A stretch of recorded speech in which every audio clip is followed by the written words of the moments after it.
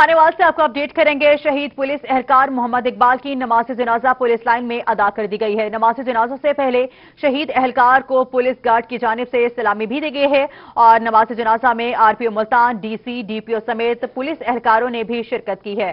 آپ کو بتا رہے ہیں خانے وال سے خبر ہے جہاں پہ شہید پولیس اہلکار محمد اقبال کی نماز جنازہ پولیس لائن میں ادا کر دی گئی ہے۔ اس حوالے سے مزید تفصیلات جانیں گے۔ ندیم مغل سے۔ جی ندیم۔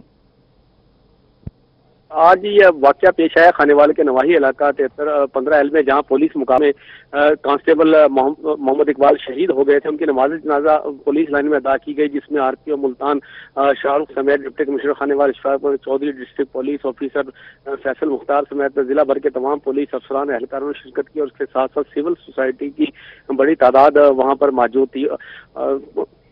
نماز جنازہ سے پہلے پولیس گارڈ کی جانب سے شہید محمد اقبال کو سلامی پیش کی اور مکمل پولیس اعزاز کے ساتھ جو ہے اس وقت تدفین کا عمل جو ہے وہ شہید محمد اقبال کا جاری ہے۔ جی۔ بہت شکریہ ندیم، آپ نے اپڈیٹ کیا۔